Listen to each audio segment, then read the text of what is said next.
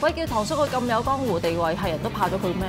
邊個有權就有聲你有能力有才華，你自己爭做會長，咁咪唔使俾佢騎住咯。我做會長，我決定唔參選會長啦，決定推薦李拔強會參選會長。果单中的江湖大嫂，今晚九點半，翡翠台。